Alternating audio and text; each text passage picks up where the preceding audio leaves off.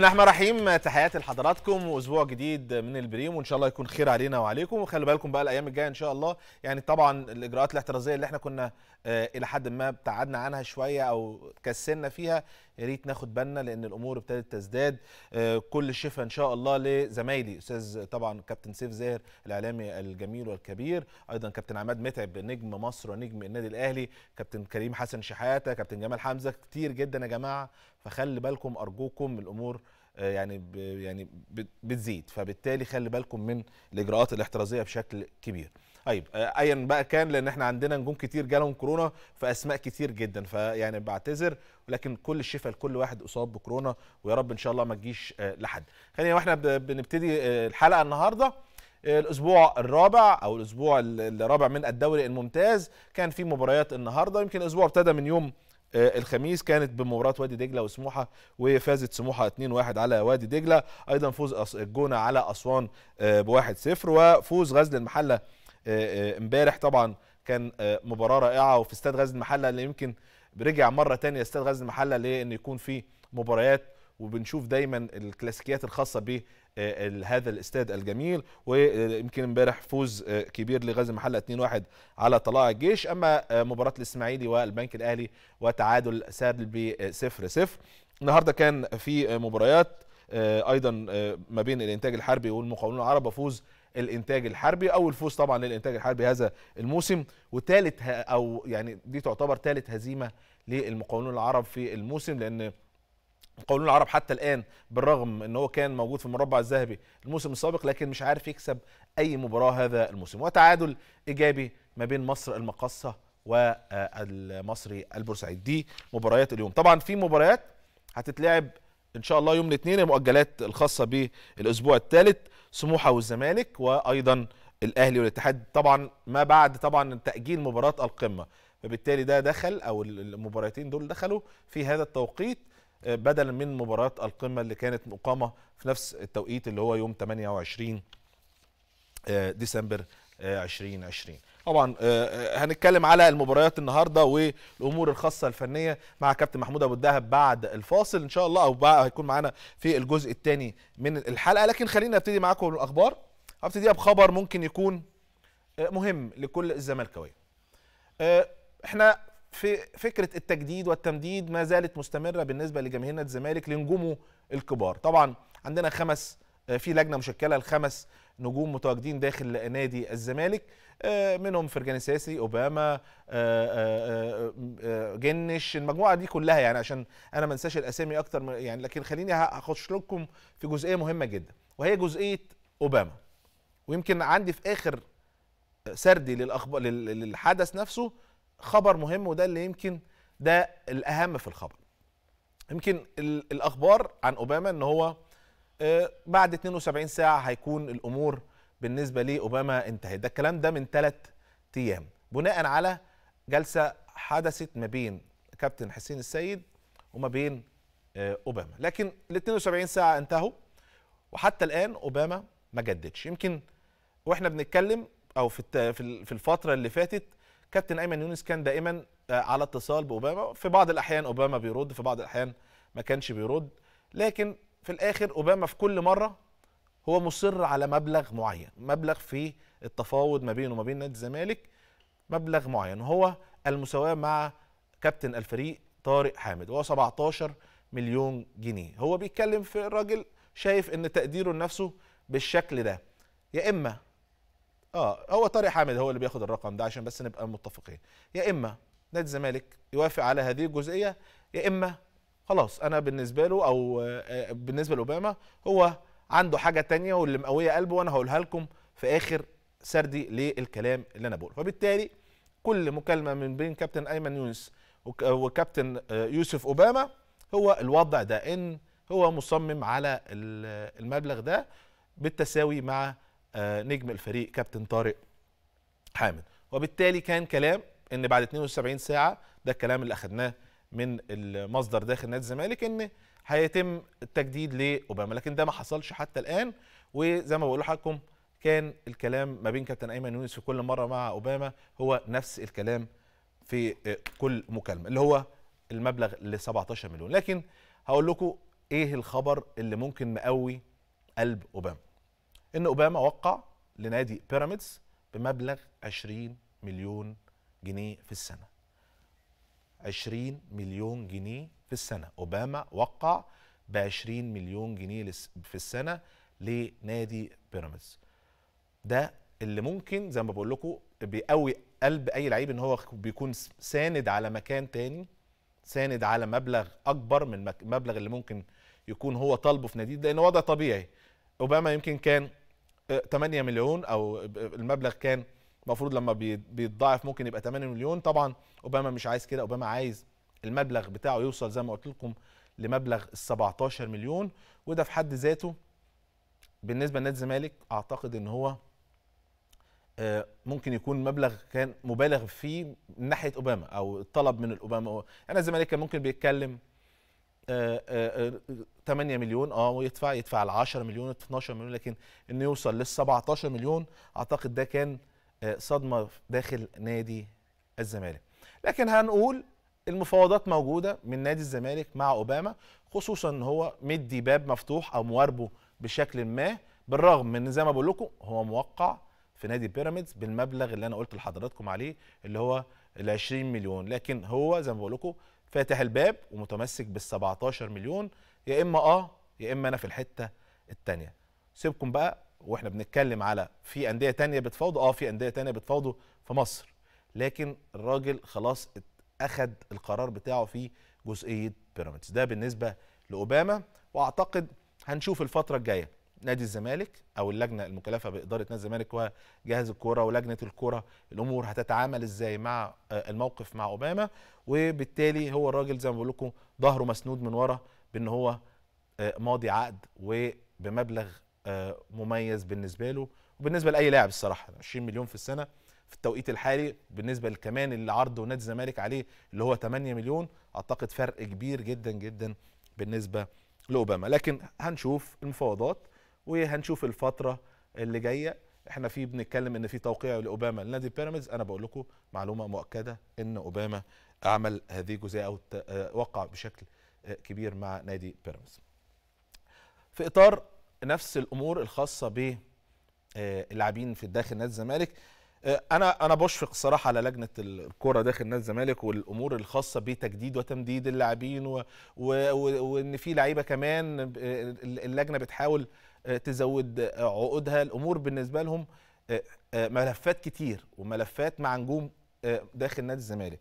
مصطفى محمد كان في جلسة أيضا مع كابتن أيمن يونس وكان طبعا زي ما اتكلمنا قلنا إن الوكلاء اللي تبع مصطفى محمد أو اللي مصطفى محمد بيتعامل معاهم متواجدين في المفاوضات وفي الجلسات الخاصة بالمفاوضات الخاصة باحترافه آه، في سانت تيان في فرنسا. وبالتالي كان في عرض مقدم قبل كده ب 2.5 مليون لكن مصطفى محمد دخل أيضا بعرض تاني مع الوكلاء ب 4.5 مليون آه، آه، يورو. ده غير البونص أو لو في بعض طبعا الشروط اللي بتبقى موجودة في حالة لو هو جاب إجوان في حالة إن هو عمل assist الأمور دي ممكن بالنسبة كمان لنادي الزمالك تبقى جزء من العقد. ده ال ال الكلام اللي حصل في جلسة كابتن ايمن يونس مع مصطفى محمد الأخيرة. وفي الآخر في الآخر نادي الزمالك اتكلم وقال طلع فيه قال إن الموضوع شفهي فقط مفيش عرض رسمي. لكن هل ممكن بعد يومين ثلاثة آه بعد يومين ثلاثة نلاقي عرض رسمي من سانت تيان بالنسبة لمصطفى محمد هنشوف في هذه آه، الجزئية. خلينا نروح لواحد من نجوم نادي الزمالك الكبار يعني واحد من اللاعبين المميزين اللي أثروا بشكل كبير في تاريخ نادي الزمالك آه، من اللاعبين اللي كانوا مميزين جدا في خط الوسط صديقي وزميلي كابتن أيمن عبد العزيز. تحياتي ليك كابتن أيمن. روح حبيبي عامل إيه؟ أخبارك إيه حبيبي؟ ربنا يخليك. الحمد لله. أنت عامل يا إيه؟ رب يا رب دايما بخير يا أيمن. الحمد لله شكرا. طيب كابتن ايمن خليني يعني أخدك أنت واحد من نجوم نادي الزمالك يعني مشهد داخل نادي الزمالك في تمديد وتجديد بعض العقود اللاعبين وكلام كتير في هذه الجزئية. شايفه إزاي يا كابتن ايمن بص أنا يعني تقريبا هو الموضوع كله بيتلخص في ساسي أعتقد ومصطفى. ساسي ما عندوش مشكلة في حاجة لأن يعني ساسي حابب النادي وحابب الزمالك وحابب العيشة في مصر وهو مرتاح هنا وقدم كتير يعني. وهو يعني حتى في سنين حياته كلها اللي لعبها يعني أعتقد إن دي أفضل سنين حياته بيلعبها في الزمالك. حقيقي. هو الراجل بيتكلم في كده فعلا بس طبعا بس يا كابتن. أيمن أنت عارف أنت راجل كنت محترف ال- الجزء المادي خصوصا للاعبين اللي هم يعني مش مصريين بيبقى الأهم بالنسبة لهم بغض النظر هو سعيد ومبسوط آه لكن الجزء المادي كل ما بيبقى أكبر كل طبعا ما الضغوط بالنسبة له بتبقى بيفكر أكتر في حتة الفلوس يا كابتن أيمن ماشي بس بص. هو يعني بعقلية ساسي أعتقد إن هو يعني مش هيفرق معاه جدا المبلغ المالي خصوصا إن هتلاقي العروض اللي جاية ممكن لساسي مش هتبقى بعيدة عن نادي الزمالك. فأنت في الآخر أنت الكيمياء بتاعتك ركبت على النادي أو خلاص الكرة بتاعتك وأنت مبسوط هنا وحققت بطولات. وحققت حاجات كتير وبقيت برضو عندك شعبية كبيرة في مصر ونادي الزمالك نادي كبير. فأنت في الآخر مرتاح. لما بتلاقي الفروق قليلة فأكيد هتختار المكان اللي أنت مرتاح فيه. ده بالنسبة لساسي فأعتقد إن ساسي موضوع بسيط. عندك المشكلة الكبيرة في مصطفى بس مصطفى. هي دي المشكلة اللي, هتقابل آه، النادي. آه، انت يا كابتن انت كنت واحد برضو خدت تجربة الاحتراف. واحد في السن ده وبيشوف واحد زي آه، محمد صلاح بيشوف آه، لعيبة تريزيجيه. يعني برضو فكرة النجومية وأوروبا آه، والفلوس كمان بس عشان بس نبقى متفقين يا كابتن أيمن. أكيد بتخليه يحلم بإن هو يطلع في التوقيت ده بالذات. فيعني أنتوا كنادي زمالك أو نجوم نادي الزمالك بت يعني لو انت بتتكلم لو انت بعيد عن المهام الرسمية. ممكن تقول له إيه أو تتعامل معاه إزاي؟ ما هي دي النقطة.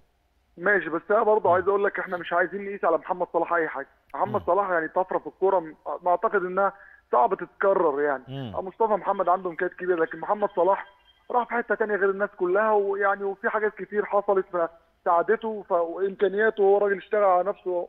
مصطفى زي ما قلت لك فرد كويس قوي. لكن في الآخر لما هتيجي تقيس هتقول إن مصطفى عنده فرصة أحسن إن هو يقعد ويفكر تمام. إن بعد الأولمبياد هتجيله حاجات أفضل من كده كتير لو أدى بنفس الشكل اللي بيأدي بيه دلوقتي أو اللي أدى بيه في بطولة أفريقيا اللي كانت في مصر. فهو عنده فرصة أفضل من كده بكتير. الآخر أنت لما تيجي تقيس إمكانيات مصطفى لازم تروح حتة أفضل من سانت إتيان بكتير. لأن أعتقد سانت إتيان لعب أعتقد حوالي آه، كم مباراة في الدوري الفرنسي عنده آه، نقط قليلة جدا ومن الفرق المهددة إن هو أعتقد أبعد من الناس ال... يعني هو الثالث من تحت فرق 2 point أعتقد أو 3 point. فأنت في الآخر هتروح تعاني مم. فأنت عايز مكان يساعدك فأنت تخيل إن مصطفى مثلا راح سانت إتيان ونزلوا درجة ثانية إيه مم. الشكل مم.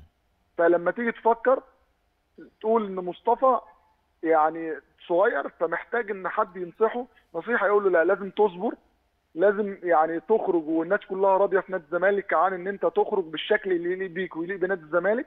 تمام لأن أنا قبل كده لما اتسألت قالوا لي مصطفى محتاج إيه تمام قلت له مصطفى مش محتاج أي حاجة مصطفى محتاج معلش دماغ بس تفكر له.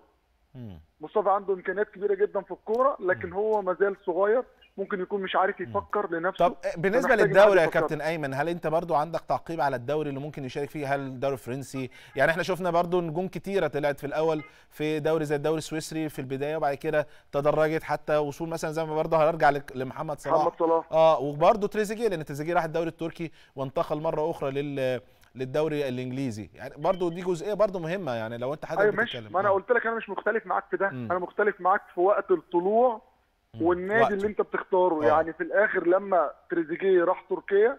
راح نادي كويس تمام من أول السنة والراجل اشتغل معاهم كويس فقدر يجوا له عروض كويسة محمد صلاح لما راح سويسرا راح برضه في بداية السنة والراجل اشتغل على نفسه وبعد كده راح زي ما قلت لك بانجلترا كانت النقلة صعبة بالنسبة له فحصلت له مشاكل ما لعبش. راح نقلة أقل منها بشوية إيطاليا عشان يرجع يعمل النقلات بتاعته كلها مظبوط فالاختيار مهم جدا جدا وتوقيت الاختيار نفسه أو مم. توقيت الانتقال نفسه لازم يحدد لك حاجات كتير يعني يعني من النصائح إن أنت مثلا ما تروحش فرقة بين الدورين بتعاني عشان أنت كمان ما تعانيش معاهم مم. وفي الآخر تخسر إن أنت بتخسر اسمك إن أنت في الآخر رحت فرقة واتحسبت عليك إن أنت هبطت معاهم فممكن يمددوا لك عقدك فتلعب درجة تانية في فرنسا.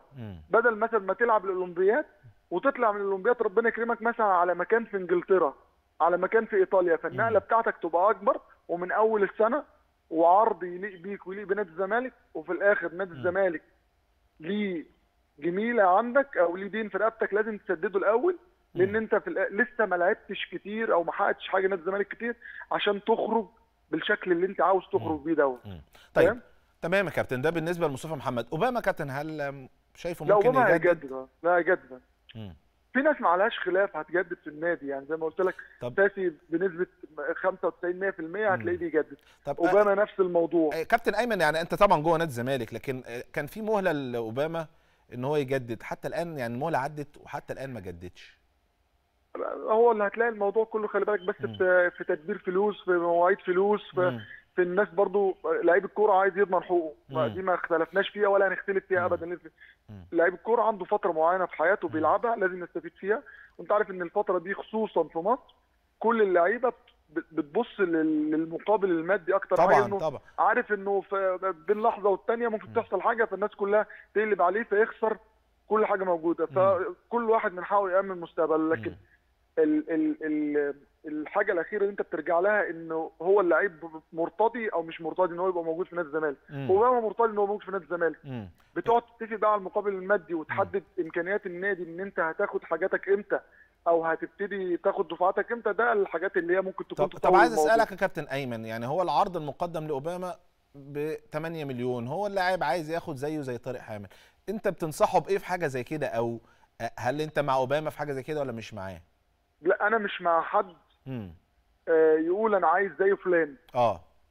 أنت مالكش دعوة بحد كل واحد ربنا مديله قدرات امم وكل واحد ربنا حاطه في حتة. امم فأنت بتقيم نفسك على الأساس اللي أنت بتقيس بيه نفسك. ما تقيسش على طارق حامد ما تقيسش على أيمن ما تقيسش على فاروق. قيس على نفسك أنت وتشوف إن الحاجة دي راضياك أو مش راضياك وتقيس عليها. لكن ما تقولش أنا عايز ده فلان لأن في الآخر ده رزق بتاع ربنا. صحيح.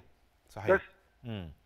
يعني انت شايف ان اوباما كابتن من خلال وجودك في داخل الفريق قبل كده وتواجدك مع الفريق ان هو حابب التواجد داخل نادي الزمالك؟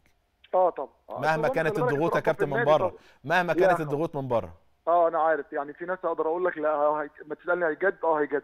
آه. لما تسألني يعني هيقعد في النادي آه هيقعد في النادي. وهو من الناس دي. أقدر أقول لك إن هو يقعد في النادي إن هو بيحب النادي و... وعايز يعمل حاجة وهو من اللعيبة المهمة جدا جدا في نادي الزمالك خلي بالك الفترة الأخيرة. والله يا كابتن آه، أيمن أنت عارف أنت أخويا. بس طبعا. الموضوع ما بقاش مضمون. إحنا شفنا ناس في أندية كبيرة يعني كانت آه، ابن النادي وبعد كده تحول. آه، آه، الأمور آه، عارف، يعني بتتكلم على رمضان. الفلوس. آه أنا بتكلم عن رمضان طبعا. ماشي طيب الفلوس يا كابتن دلوقتي هي تتكلم الفروق الف- الفروقات كبيرة قوي. آه. يعني فروقات رمضان كبيرة قوي. فاهم. لكن مش هتلاقي مثلا فروقات أوباما كبيرة. فلما تيجي تقعد تقارن لا أنا هختار الزمالك هختار المكان اللي أنا بلعب فيه المكان اللي مرتاح فيه المكان اللي اتربيت فيه لكن لما تيجي تكلمني في فروقات في أرقام خيالية لا طبعا هختار مصلحتي مم. مم. بس مم. طيب كابتن هسألك سؤال أخير قبل ما أقفل معاك كابتن أيمن ده قول لي حبيبي آه، الزمالك هياخد الدوري السنة دي؟ هو أنت ما تقدرش تقول مين هياخد الدوري السنة دي ولا ولا مم. تقدر تقول الزمالك ولا تقدر تقول الأهلي ولا تقدر تقول بيراميدز أنت. لسه في البدايات كلها مم. فاللي يقول لك ده يبقى راجل لما عايز بقى يخش في الفلك ويخش في علم الغيب عشان يقول لك لا لا الزمالك أما. تيجي تسألني كزملكاوي يقول لك آه الزمالك يكسب الدوري بس البدايات بال- بتفرق كانت السنة دي السنة اللي فاتت كانت البدايات بالنسبة للزمالك إلى حد ما كانت هي اللي بعدته عن البدايات السنة دي. كويسة، صح؟ آه. مظبوط شغالة. كويس عشان كده بسألك عنده. آه. ما أنا بقول لك الزمالك. لما تيجي تقيس لما تيجي تقعد تحسبها ككورة. الزمالك عنده كل الإمكانيات إنه يكسب الدوري السنة دي مم. مم. يبقى إيه؟ مم. يبقى الاستقرار. الاستقرار الفني والاستقرار المادي. هو ده الموضوع بس اللي هيفرق إن. انت هتقدر تحافظ على الفرقة والهيكل الأساسي بتاع الفرقة واللعيبة اللي موجود تقدر تكمل بيها من غير مشاكل لا الزمالك يكسب أفريقيا ويكسب الدوري ويكسب الكاس كل البطولات اللي يلعب فيها. يقدر ينافس عليها بنسبة 100% مم. مم. عشان العناصر اللي بيمتلكها.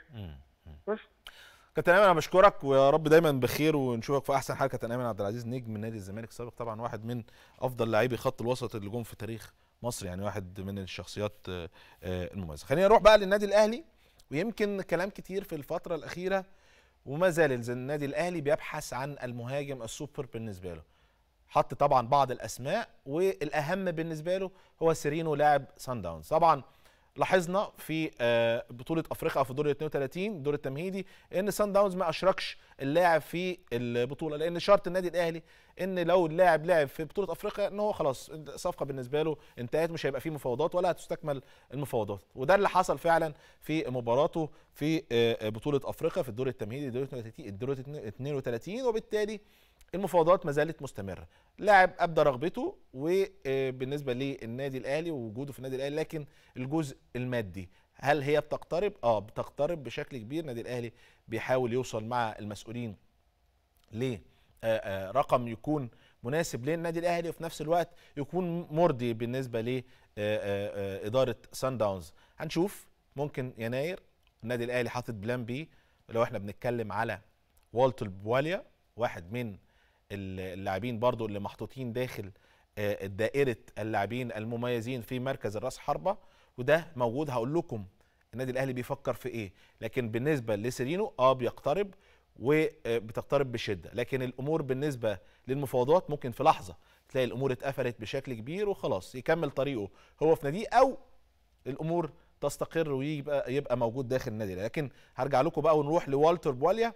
لاعب مميز. كل ماتش تقريبا بيجيب جون. السنة اللي فاتت جايب 13 هدف مع الجونة. هو أحرز هدف الفوز في مباراة أسوان. والتر بواليا لاعب سريع قوي بيعرف يجيب اجوان ودي ده دي ميزة مميزة بالنسبة ل والتر وإن هو كمان في الدوري المصري فعارف أمور كتيرة داخل الدوري المصري هيساعد على التأقلم سريعا مع النادي الأهلي لو بقى موجود. هنا الصفقة كانت مادية. بمعنى إيه؟ إن نادي الجونة كان طالب مبلغ 30 مليون جنيه بالنسبة لانتقال هذا اللاعب للنادي الأهلي لكن النادي الأهلي عنده برضه مفاوضاته في فكرة 30 ممكن ما يبقوش كده أو ممكن يكون لازم ينزل بيها بالسعر. وبالتالي النادي الأهلي عارض إن مروان محسن يبقى موجود في صفقة تبادلية ما بين الأهلي والجونة بحيث إن يبقى متواجد مروان محسن ويبقى في جزء مادي أيضا للجونة. ده بالنسبة لوالتر بواليا ونادي الجونة والمفاوضات الخاصة ما بين تواجده في النادي الأهلي ونادي الجونة. هنشوف الفترة القادمة إيه اللي هيحصل بالنسبة لهذه الصفقة سواء بقى والتر أو حتى سيرينو. خلينا نروح لواحد يعني من الإعلاميين المميزين المتحدث الرسمي لنادي الإسماعيلي في التوقيت الحالي. أستاذ علاء وحيد تحياتي لحضرتك. أهلا بك كابتن محمد واهلا بكل السادة المشاهدين ومنور دايما. يا رب دايما يا رب. وأنت حضرتك يعني أستاذ علاء خليني يعني وإحنا بنتكلم في الأمانة. أنا أنت عارف أنا محب للاسماعيليه وأهلها وبالأخص كرة القدم في الاسماعيليه أنا فعلا حزين على نادي الاسماعيلي في بدايته أتمنى إن شاء الله يعني الأمور تختلف. وما يخص يمكن حضرتك كنت معايا في موضوع كابتن طلعت يوسف لما أعلنا رسميا إن هو متواجد داخل نادي الاسماعيلي لكن فوجئنا بعديها بيومين إن كابتن طلعت بيعتذر عن التواجد وما بقاش موجود. لكن هقول لك إيه الأسباب أو تقول لي إيه الأسباب وتقول لي إيه الحلول بالنسبة للنادي الاسماعيلي في الفترة القادمة عشان يرجع نادي الإسماعيلي؟ معاك يا فندم معاك. يعني اولا أسباب رحيل كابتن طلعت. أنا حتى قلت يعني في كلام كتير جدا طلع. ولكن أنا بأكد البيان الرسمي اللي صدر بناء على هذا وأيده كابتن طلعت بعد كده إن هو لظروف أسرية تتعلق بوجوده في الإسكندرية فترة وهو نفسه قال يعني مش معقوله أكون أنتوا لسه في سفر المغرب مباراة مهمة جدا في البطولة العربية كل ثلاث أيام مباراة. صعب إن الإسماعيلي ما عندوش رفاهية الوقت. فالراجل كان منتهى الاحترام ومنتهى تقدير المسؤولية وهو حتى شكر المهندس إبراهيم عثمان إنه تقبل هذا ووافق على إنهاء التعاقد بالرغم ان كان كابتن طلعت مضى العقد بالفعل. وبالتالي لهذه الأسباب النادي الإسماعيلي مقدر ده تماما مع كابتن طلعت يوسف المدرب القدير وإحنا بنعتبرها خسارة كبيرة جدا للنادي الإسماعيلي ولكن هي دي الظروف اللي إحنا ما نقدرش وما فيش في إيدينا حاجة فيها. فبالتالي كان الاتفاق على عدم توليه المسؤولية بناء على طلب الكابتن طلعت بناء على الظروف اللي تتطلب تواجده في الإسكندرية فترة من الزمن. الإسماعيلي محتاج كل دي وهو حل حتى قال لي أنتوا لا لا تمتلكوا رفاهية الوقت. وبالتالي أكون واضح جدا وصريح مع نفسي إن أنا لازم أكون في إسكندرية الفترة دي الاسباب وربنا يا رب يشفي كل مريض يا, يا رب, رب فبالتالي إحنا مقدرين ده كويس جدا وعلاقتنا بكابتن طلعت من أروع ما يمكن. ويعني عمرنا ما هنخسر كابتن طلعت ولكن إحنا خسرناه كمدير فني في الفترة دي تحديدا. لكن الكلام نفسه كان يعني تردد بقى عن بعض الأمور الخاصة إن كابتن طلعت وجد بعض الأمور الخاصة بالعقود خاصة باللاعبين وبالتالي لما لقاها كده هو حب يمشي. أنت حضرتك بتنفي كل ما صدر عن لا أقول لك آه، الدليل إيه يا آه. فندم يعني أنا دليلي هو كابتن طلعت بنفسه. اولا كابتن طلعت اسم كبير ومدرب كبير جدا. مم. لو في أي حاجة ضايقته أو أي حاجة مم. تتعلق بالكلام اللي طلع ده كله كان كابتن طلعت بنفسه كان طلع وقال ده. لكن أنا واثق إن كابتن طلعت لو اتكلم وطلع هيتكلم في هذه الظروف اللي هو أساسا طلب اعفائه من المأمورية بناء عليها. وبالتالي لو في أي كلام من كل الكلام اللي اتنشر وكل الكلام اللي اتقال المنطق بيقول إيه؟ إن صاحب الأمر بنفسه هو اللي يطلع يتكلم.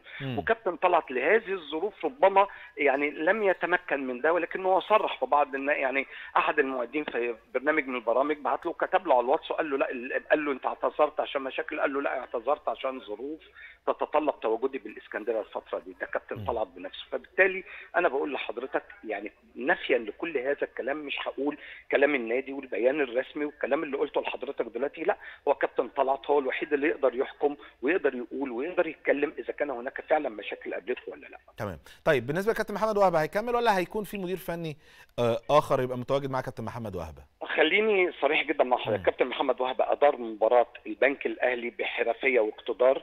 كابتن محمد وهبه ما اثرش ما فيش لعيب في الملعب اثر في المباراة دي. مباراة كانت قوية جدا الاسماعيلي اضاع أكتر من فرصة. ومنهم هدف صحيح للأسف لم يحتسبوا الحكم بشهادة المحللين وبشهادة حكامنا الكبار.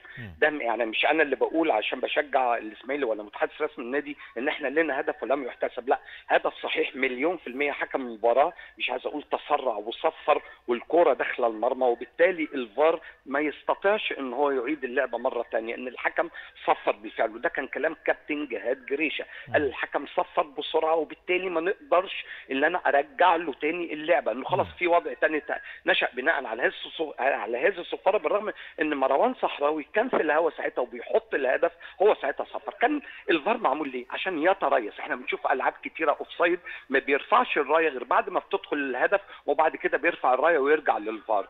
الفار اتعمل مخصوص لمثل هذه الحالات. وبالتالي الإسماعيلي اتظلم ظلم باين في هذا اللقاء بنقطتين كان ممكن يغيروا في الترتيب. زي بالظبط برضه ضربة الجزاء اللي لم تحتسب للنادي الإسماعيلي بعد في مباراة الإنتاج الحربي وكان فيها استشارة من الفار ولكن للأسف بعض الزوايا للكاميرات من خلال سيارة الفار ما عادتش اللعبة الأساسية اللي بناء عليها تحتسب ضربة جزاء. اتعادت من زوايا عديدة وبالتالي الحكم خد قراره بعدم احتساب ضربه جزاء إحنا. مش بنتظلم ومش بنلقي باللائمة على أي ظروف إحنا عندنا تقصير وعندنا بعض المشكلات بتتحل وإن شاء الله جهاز فني قدير يدير الإسماعيلي وكابتن محمد وهبه أنا بقول لحضرتك هو من أقدر من أقدر الناس اللي تدير القيادة الفنية للنادي الإسماعيلي.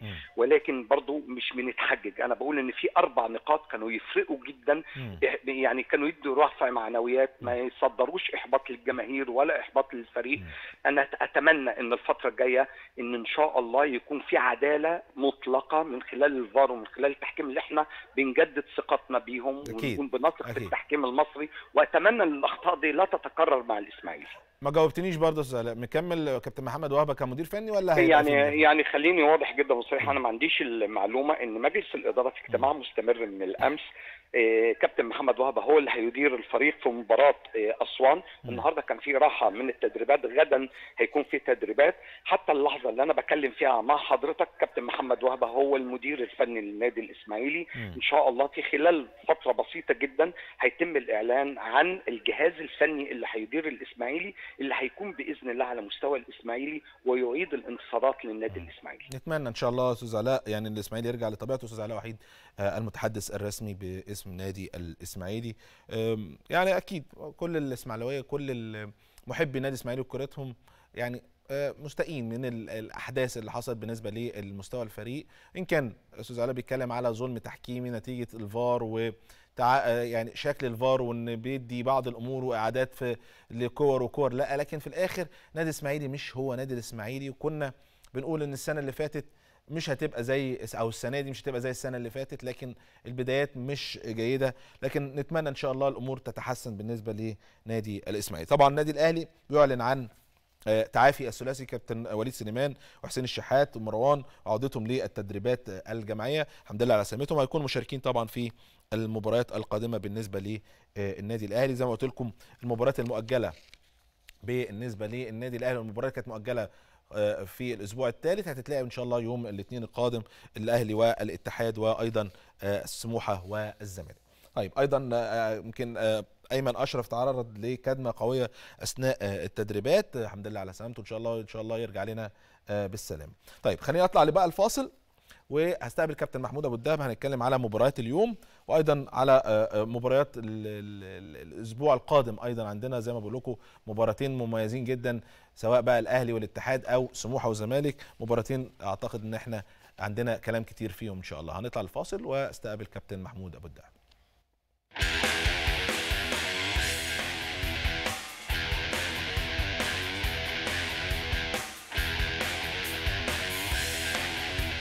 بيبذل مسؤولو النادي الأهلي المصري الغالي والنفيس من أجل إتمام الصفقة الأهم للجهاز الفني الحالي وهي ضم الأوروجواني جاستن سيرينو لاعب نادي سان داونز الجنوب إفريقي بعد ما أصبح واحد من أهم اللاعبين المطلوبين وعلى وجه السرعة داخل النادي القاهري العريق. وفتح الأهلي خزائنه وترك كل الأبواب من أجل الفوز بخدمات اللاعب الأوروجواني المتألق مع نادي سان داونز منذ أعوام.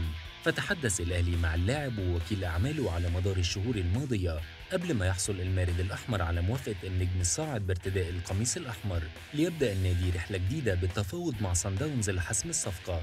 وبيعلم جيدا الجنوب أفريقي بيتسو موسيماني اللي تولى مهمة تدريب الأهلي أول أكتوبر الماضي خلفا للسويسري ريني فايلر قدرات جاستن سيرينو الملقب بجوهرة سان داونز منذ أن كان يتولى تدريبه في النادي الجنوب أفريقي لمدة موسمين تقريبا.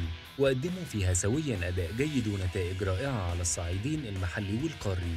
وبيلعب موسيماني دور مهم في إتمام الصفقة مستغلا علاقته القوية باللاعب. وبدأ الأهلي عرضه المالي لشراء اللاعب ب 2 مليون دولار. ثم رفعوا ل 2.5 مليون دولار قبل ما يوصل العرض الأخير المقدم من جانب النادي الأهلي ل 3 مليون دولار. وبكده هيكون سيرينو أغلى لاعب أجنبي يدفع فيه الأهلي هذا المبلغ في حال تمت الصفقة بهذه القيمة المالية. وبدأ سيرينو البالغ من العمر 29 عام مغامراته مع سان داونز في 2018 بعد إنتقاله لصفوف الأخير قادما من نادي بوليفار البوليفي وتوج اللاعب مع سان داونز ببطولة دوري جنوب إفريقيا ثلاث سنوات متتالية في مواسم 2018 و2019 و2020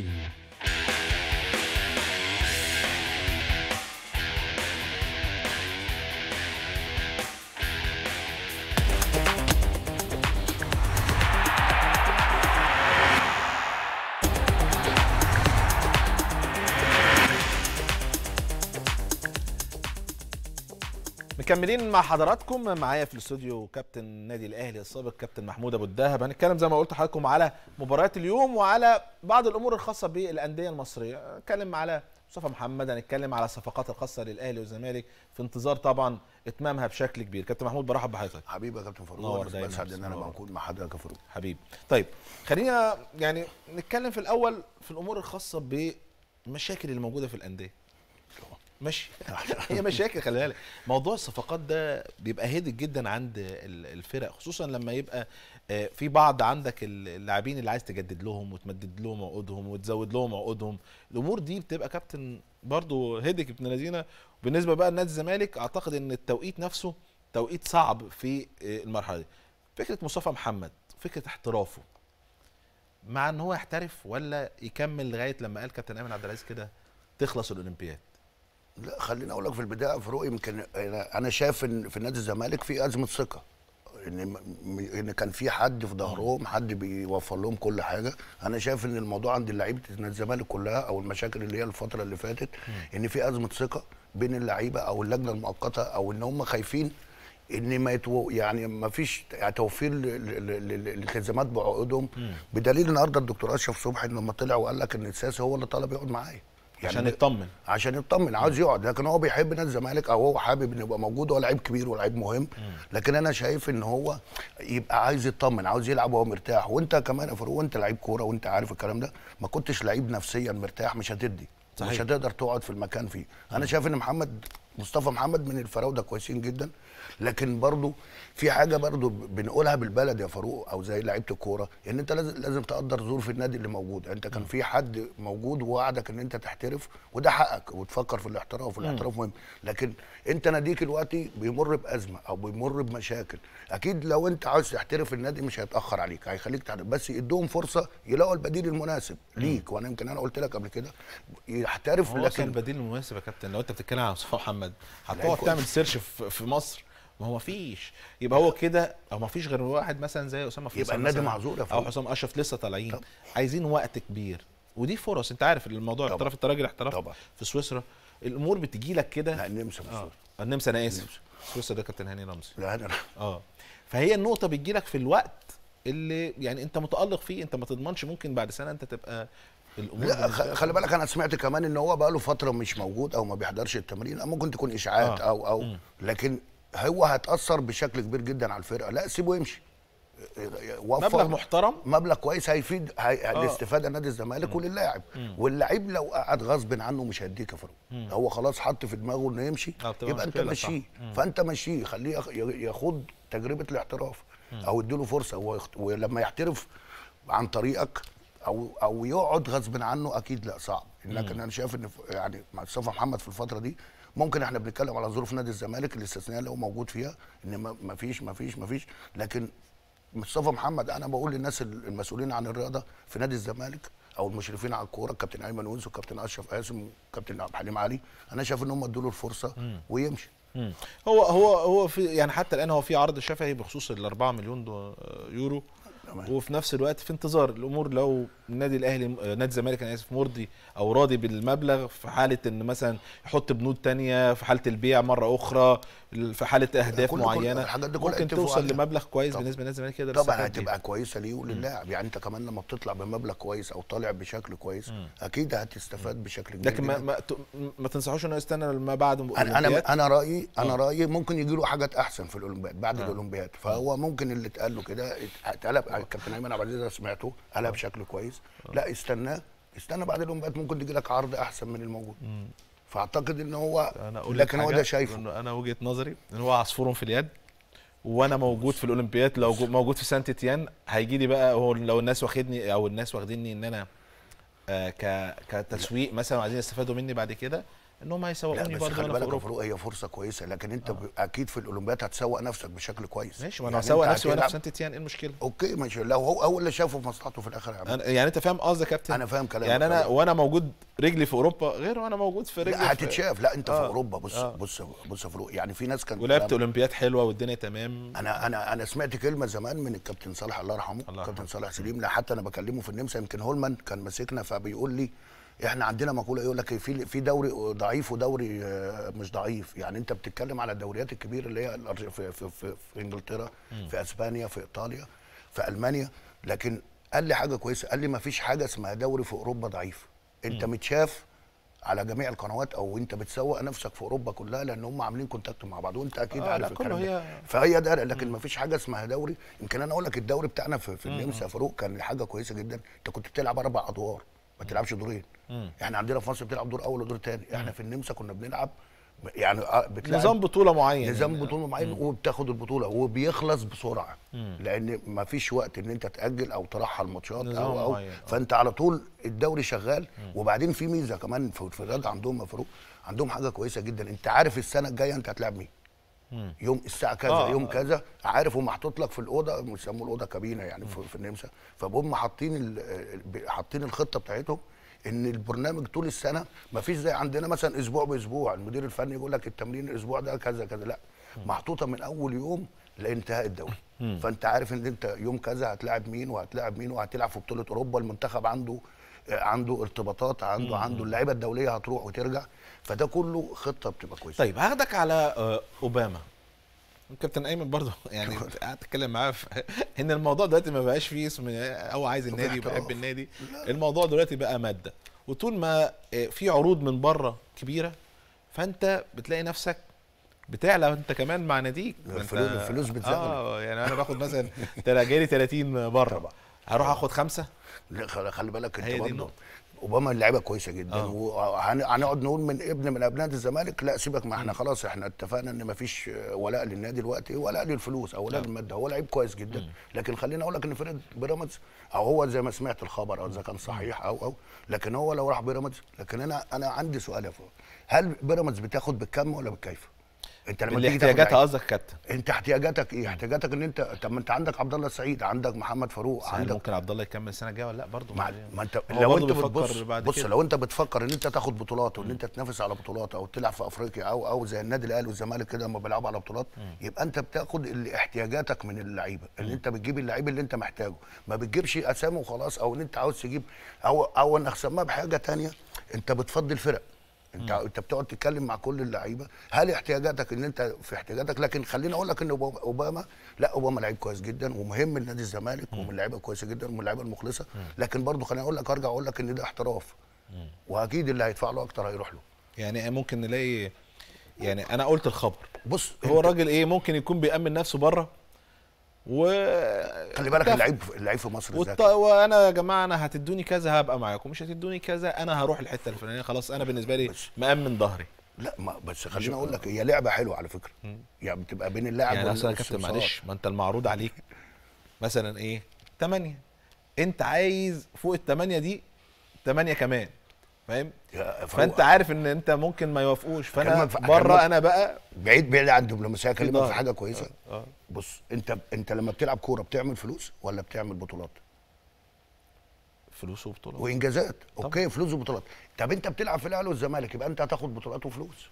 تمام. لما آخد بطولة هاخد فلوس صح ولا أنا غلطان؟ لما تيجي تتكلم النهارده مع لعيب زي أوباما أنت بتفكر في إيه؟ بتفكر يبقى أنت عندك إنجازات بعد ما تبطل تقول أنا بط... أنا زي النهارده بنشوف لعيبة كتير جدا زي شادي محمد أو اللعيبة. إحنا في النادي الأهلي. لا أنا لعبت أربع سنين خدت أربع دوري.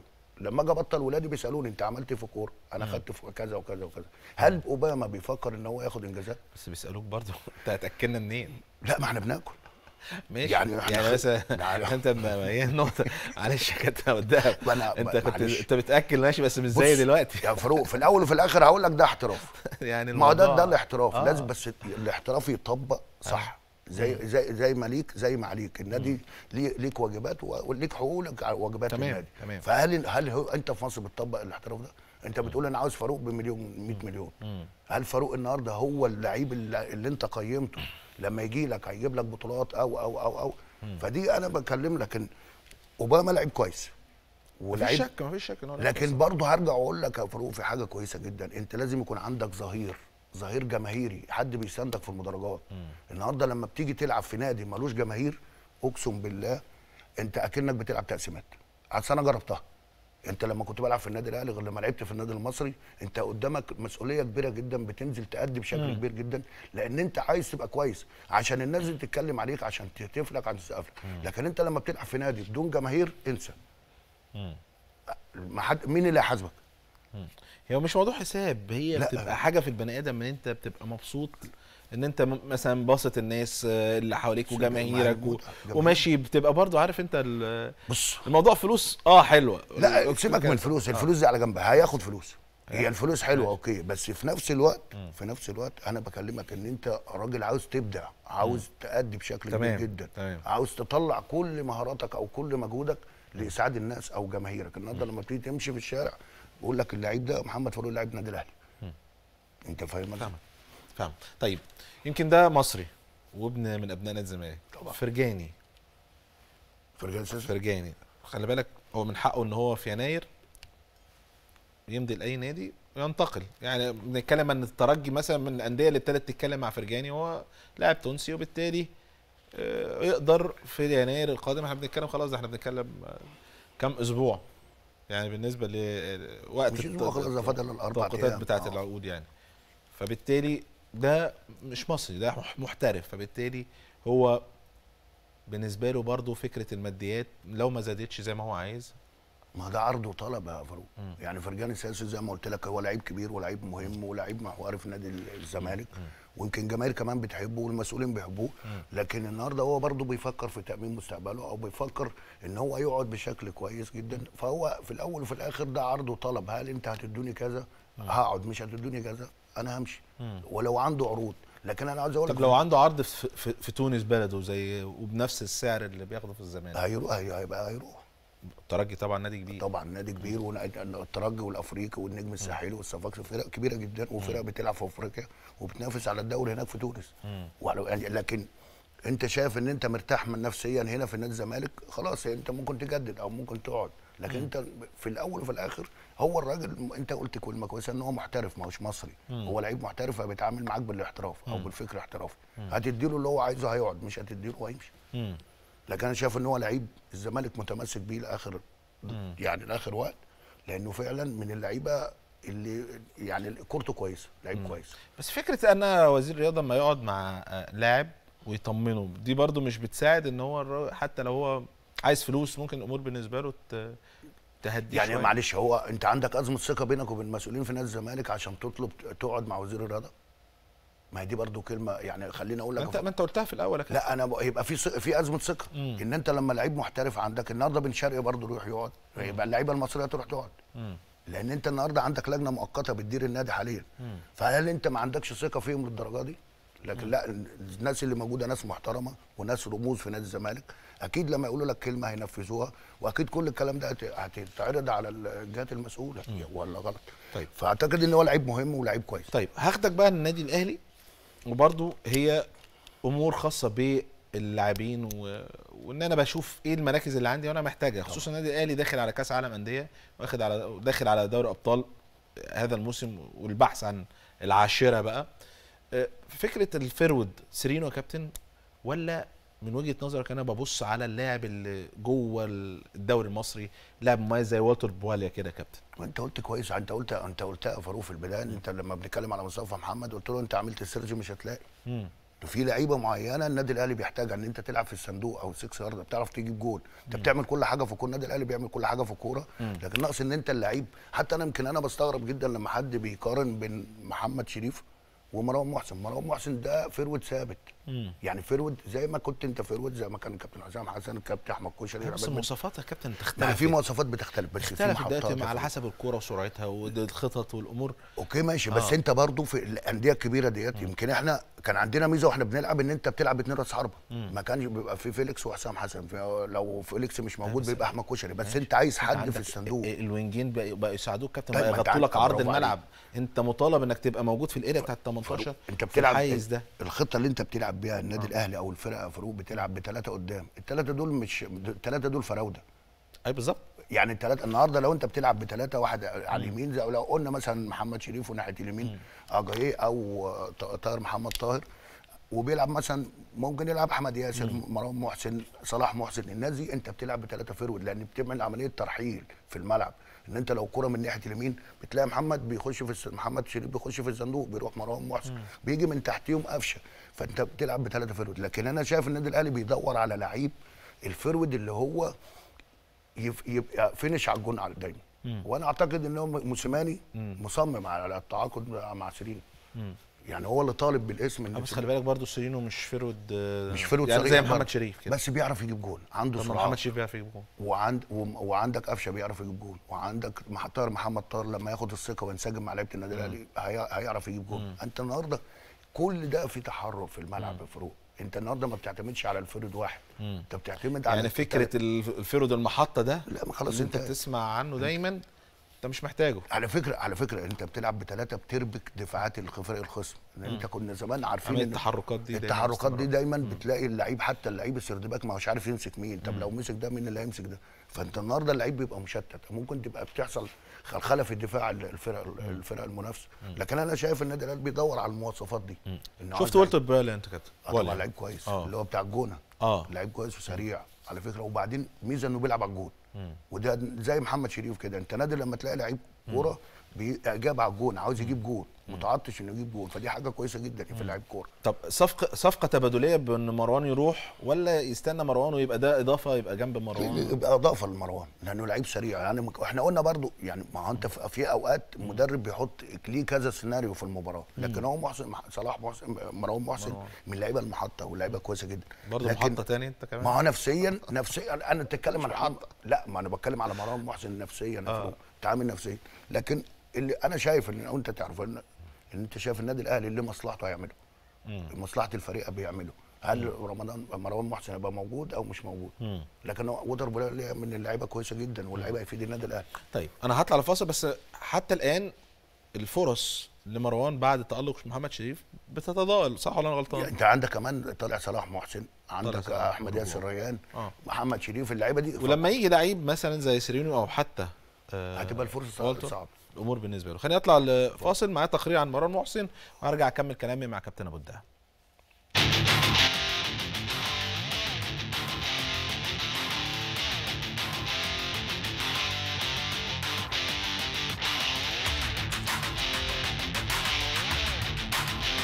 في عام 2016 وتحديدا خلال سوق الانتقالات الصيفية أبرم الأهلي صفقة هجومية من خلال التعاقد مع مروان محسن في عقد مدته خمس سنوات مقابل حصول الإسماعيلي على 10 مليون جنيه.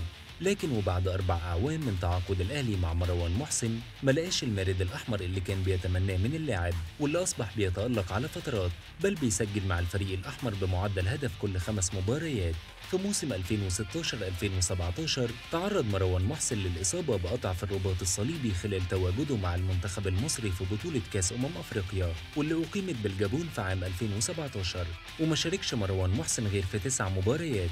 أحرز خلالها هدف وحيد في شباك المصري البورسعيدي ضمن حسابات الأسبوع ال16 وبعد غياب دام أكتر من عام رجع من جديد مروان محسن وتحديدا في موسم 2017-2018 واستعاد الأهلي من جديد خدمات مهاجمه في مباراة طلائع الجيش واللي جد ضمن حسابات الأسبوع ال18 من مسابقة الدوري. ولعب مروان 13 مباراة خلال موسم 2017-2018 بواقع سبع مباريات في مسابقة الدوري وأربع مباريات في دوري أبطال أفريقيا ومباراتين في مسابقة كأس مصر. أما عن الأهداف فسجل مهاجم الأهلي أربع أهداف بواقع ثلاث أهداف في الدوري وهدف في مسابقة دوري أبطال أفريقيا. لجانب صناعته لهدف وفي موسم 2018-2019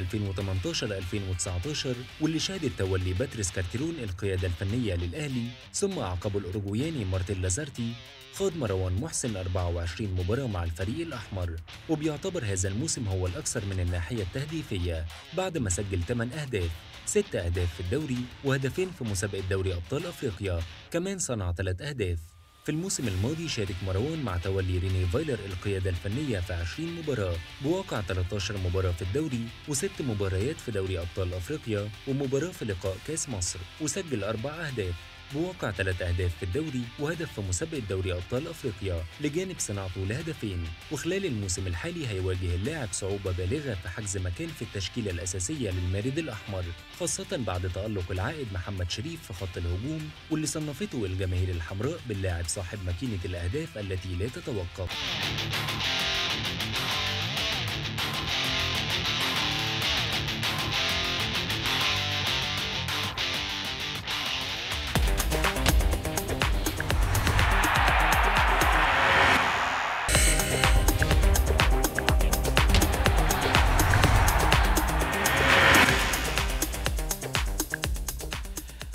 رجعنا لحضراتكم مرة تانية. خليني أقول لكم إن اللجنة الأولمبية يعني كانت أصدرت بيان خاص بالبطولات الخاصة اللي متواجدة داخل الصالات آه، المغلقة وطلعت البيان الخاص بهذه الجزئيه إن بتمنع أي آه، آه، بطولات أو أي أنشطة رياضية داخل الصالات المغلقة إلا في حالة واحدة يعني خاصة بهذه الجزئية إن الاتحاد الاتحاد الخاص بكل لعبة داخل ال- ال- المتواجده داخل الصالات بيعمل إجراءاته الاحترازية وخصوصا لما يكون عنده بطولة. إحنا بنقترب طبعا من بطولة كأس العالم لكرة اليد رجال عندنا هنا في مصر. إن شاء الله هتكون في يناير وبالتالي إجراءات و إجراءات مميزة جدا من الدولة في هذه الجزئيه وبتطمن كل الناس من خلال طبعا الإجراءات اللي مصر واخداها في الجزء الطبي لهذه البطولة. وبالتالي اللجنة الأولمبية طبعا هتسمح لكن بأمور خاصة بالإجراءات الاحترازية. لكل اتحاد عايز ينظم بطولة أو ينظم آه، تجمع للاعبين في اللعبة الخاصة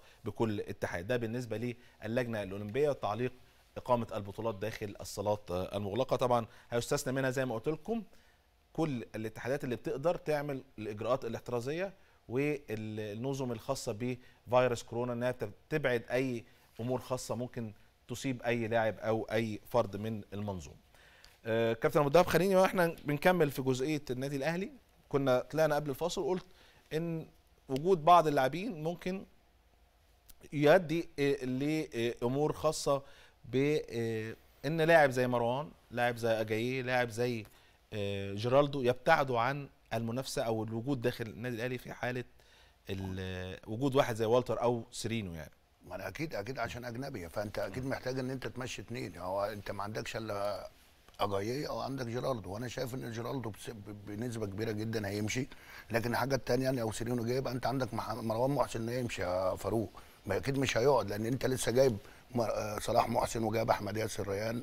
فأنت أكيد مش هتمشيهم يعني. فأنت أكيد هتمشي من الناس اللي هي موجودة. والفترة ال- وأنت كمان يعني عندك فترة إن أنت هل هو يمشي بيع نهائي ولا إعارة ولا كده؟ يعني لكن أنا شايف إن مروان محسن لازم يبعد شوية لازم ياخد هدنة مع نفسه شوية إن يعيد حساباته من جديد إن أنت خلاص الناس ابتدت تتكلم عليك وأنت رامي ودنك للسوشيال ميديا أو الإعلام بشكل كبير جدا ما أنتش مركز. لكن أنا هو لعيب كويس جدا محتاج إن هو يبعد فترة عشان يرجع أحسن من مكان طيب يمكن آه، منذ قليل أعلن الدكتور أشرف صبحي وزير الشباب والرياضه عن تعيين المستشار عماد عبد العزيز رئيس اللجنة المؤقتة بنادي الزمالك. طبعا في اسم أيضا هيكون متواجد في اللجنة لكن حتى الآن لم يذكر الاسم.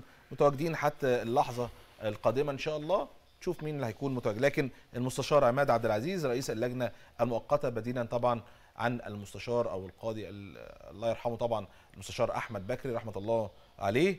وبالتالي ده الاسم اللي بقى موجود خلاص كرئيس للجنه المؤقتة لنادي الزمالك. طيب آه، خلينا نقول برضو إن إحنا كنا بنتكلم على اللجنة الأولمبية كابتن وزي ما بقول مجهود كبير عندنا كأس عالم طبعا. لكرة اليد في مصر آه، معالي رئيس الوزراء آه، آه، يعني كان متواجد في الصالة المغطاة بي- بي- بيتفقدها بشكل كبير والتجهيزات الأخيرة بالنسبة لهذه البطولة طبعا دكتور أشرف صبحي مع دكتور مصطفى مدبولي طبعا آه، كانوا متواجدين آه، يعني وإحنا بنتكلم على البطولة وأهميتها.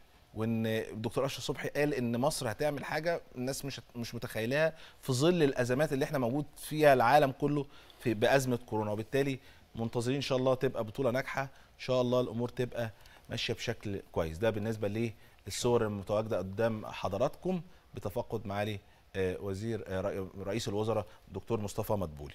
كابتن حسن مصطفى موجود يعني. اهي وكابتن حسن آه كابتن حسن مصطفى طبعا. رئيس الاتحاد الدولي لكرة اليد كان. متواجد في آه، التفقد بالنسبة للمنشآت الرياضية أو الصالة المغطاة الخاصة بإستاد القاهرة. طيب آه خليني أكلمك على مباراة النهارده كابتن عندنا كان آه، مباراة الإنتاج الحربي والمقاولون العرب وفوز آه، للإنتاج الحربي المقاولين العرب ما كسبش ولا ماتش يا كابتن ما كسبش ولا ماتش خالص يعبر عن إيه بالنسبة للمقاولين العرب خصوصا حتى في الكونفدرالية الفرص بالنسبة له قلت بالتعادل السلبي هنا 0 0 أمام ال- النجم. النجم الساحلي. يعني خليني أقول لك إن المباراة تبقى صعبة في إن أنت فاهم النجم الساحلي من الفرق الكبيرة جدا وعلى ملعبها بتبقى صعبة جدا في خصوصا النجم الساحلي بيلعب في استاد سوسة يعني ما بيلعبش في المنزل. أنت بتلعب فرقة كويسة جدا فرقة عندها لعيبة كويسة جدا عندها حلول وفرقة بطولات على فكرة. المقاولين يمكن أنا شايفه زي ما قلت لك قبل كده إن هو بيمر يعني بظروف صعبة في الدوري ما بيكسبش ولا ماتش أو عنده لعيبه يمكن أنا اتفرجت على ماتش الإنتاج النهارده الاثنين كانوا محتاجين الفوز بشكل كبير جدا سواء الإنتاج صحيح. أو أو المقاولين لكن الإنتاج تعب واجتهد وكان بيلعب مباراة مفتوحة بشكل كبير جدا قدر إن هو يكسب المباراة ويفوز بالثلاثة بونت لأن هو كان محتاج محتاج أكتر منه كمان. فدي كانت مباراة صعبة على المقاولين. فالنهاردة دي وكمان الهزيمه دي يا فاروق كمان. أسباب المقاولين اللي فيه كابتن من وجهة نظرك هل السنة اللي فاتت كانت مصادفة بالنسبة للنادي المقاولين وما حدث بالنسبة للنادي المقاولين؟ ولا الأمور ما تعاملوش مع الموسم ده بشكل ما هو ده؟ الطموح يا فاروق. انت هتكمل على على المستوى اللي انت فيه ولا انت هتفضل محلك سر وتلعب على على الماضي وت... هل صفقات مثلا ما كانتش انت ما جبتش؟ صفقات؟ يعني أنا شايف ان انت برضو ما جبتش انت مشيت طاهر محمد طاهر كان بيفرق معاهم بشكل كبير جدا لكن راح على النادي الاهلي لكن انت ما جبتش بديل لطاهر محمد طاهر. انت موجود مع اللعيبة. آه أنا أقول لك الانسجام والاستقرار لكن خلاص الفرق بقت حافظاك. الفرق بقت بتعمل لك حساب بشكل كبير جدا. فأعتقد إن فرق طريقة لعب المقاولين كمان اتحفظت. لازم اللعيبة تقعد مع بعض لازم النهارده حتى في المباراة فروق. يعني حاسس إن اللعيب ما فيش ثقة في الملعب ما فيش ثقة إنه يكسب. خلي بالك كمان هتبقى تتصعب عليهم بشكل كبير جدا إن أنت الدوري يعني ما يعني على طول ورا بعض والماتشات ورا تل- كل ثلاث أربع أيام ماتشات. فأكيد المكسب بيجيب مكسب والهزيمة بتجيب هزيمة. فالمقاولين محتاج إن يقعدوا مع بعض شوية اللعيبة مجلس إدارة. كأن مجلس إدارة أنا شايف إنه موفر للكابتن عماد النحاس كل شيء ممكن يعني كان إن أنت إن أنت تتألق أو أنت ما عندهمش مشاكل عندهم لعيبة كويسة جدا.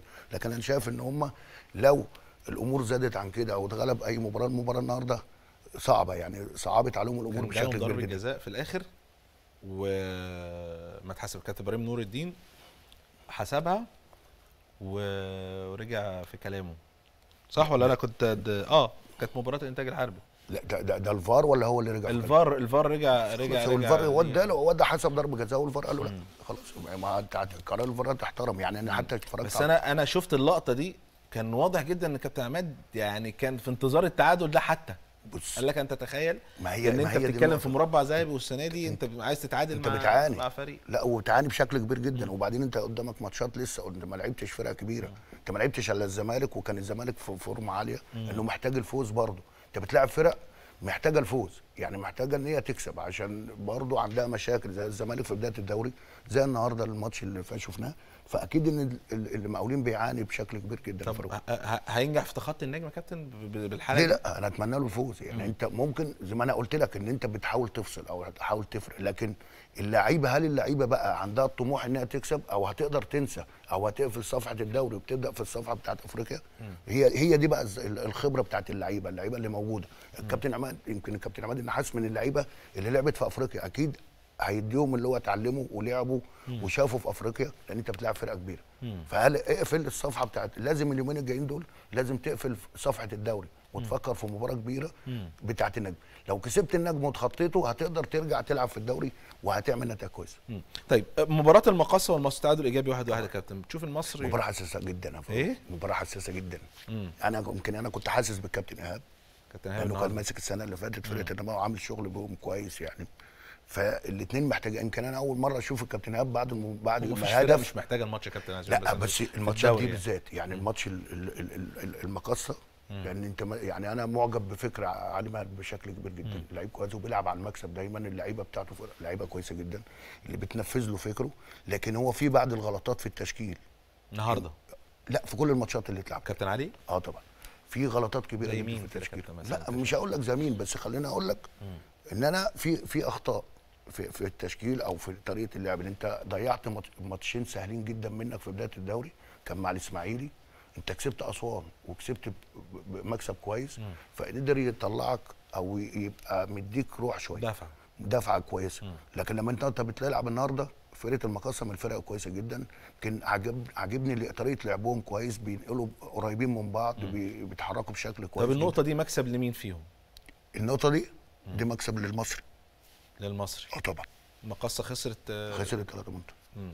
لأنه عملوا شغل كبير جدا وكان يعني خليني أقول لك بص الفرقة الوحيدة فاروق اللي بتلعب على ملعبها على ملعب واحد هو النادي المصري. مم. يعني كل الفرق بتجيله فين؟ مم. يعني ما بيحتاجش إن أنت تطلع بره أو بتلعب آه، في أسوان أو بتلعب في إسماعيلية أو بتلعب أنت بتلعب على برج العرب استاد برج العرب. يعني أنت ما عندكش حجة إن أنت تأدي بشكل كويس جدا أنت الوحيد اللي حافظ الماتش أو حافظ الملعب. فبالتالي أنت عندك عندك ميزة كويسة. تقدر تستغلها بشكل كبير جدا. طيب هكلمك على مباراتين المؤجلين من الأسبوع الثالث يا كابتن مباراة سموحة والزمالك. كان تصريح حلو قوي أنا عجبني قوي كابتن أحمد سامي. قال لك أنا نمت وصحيت لقيت مباراة الزمالك بعد يومين. خلي بالك أنا قلت لك إن الماتش اللي قاله الزمالك هيتأجل. لو تفتكر. إحنا والله بص بص الماتشات أنا دي سألت. كابتن أحمد مجاهد قبليها بيوم كان معايا هنا. أنا كان آخر يوم ثلاث بالنسبة لي لأن إسلام يوم الأربع. قلت له كابتن أحمد الماتش هيتأجل.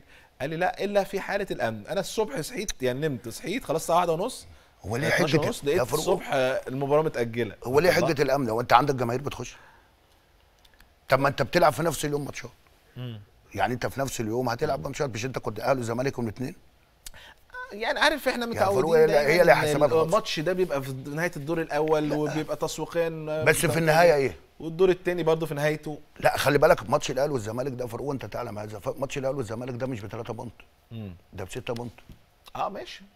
صح. ماشي، لكن هو الفكرة بيفرق يعني. كتير جدا. هو ب... وممكن بتبقى لها حسابات تانية. يعني أنا قلت لك أنا أول ما اتحط الجدول طب أنت أنت هو- بص، تحب الماتشات اللي زي كده كابتن؟ تتلعب في وسط ال- الجدول هو ولا في نهاية هو الجدول؟ هو ماتش زي ماتش بثلاثه point.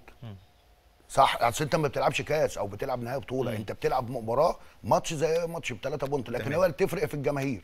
صحيح. قمة جماهيرية. ما- العالم العربي كله بيتفرج عليه أو الوطن العربي لكن في النهاية إيه اللي بيحصل؟ إن أنت المباراة هي بتتحسب حسابات تانية يا فاروق إن أنت مش عاوز تبين إيه ممكن ما تبقاش عاوز تبين المنافسة من بدري. مم. طب أنا قبل ما أطلع للفاصل يا كابتن اتفضل. الماتش ده لو كان اتلعب كان هيروح لمين نتيجة الظروف الحالية بالنسبة للفريق؟ لا كاستقرار النادي الأهلي. مم.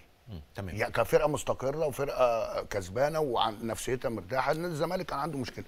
فالنادي الأهلي يلعب على الحتة دي. تمام. طيب هطلع لفاصل كابتن ونرجع نكمل كلامنا. عايز أكلمك على الماتش سموحة والزمالك وفرص الم... الم... سموحة والزمالك وأيضا الأهلي والاتحاد. ماتش برضو قوي جدا في ظل وجود طبعا كابتن حسام حسن كمدير فني لنادي الاتحاد السكندري. آه، فاصل وكمل كلامي مع كابتن ابو الدهب.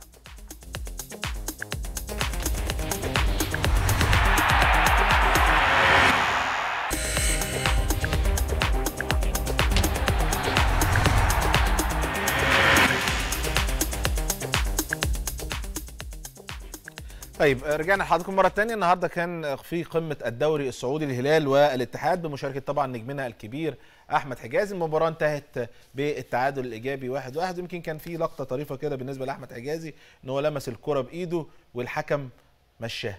فدي حاجة كويسة برضو إن إحنا يعني نجمنا ما يتسببش في ضربة جزاء ولا حاجة.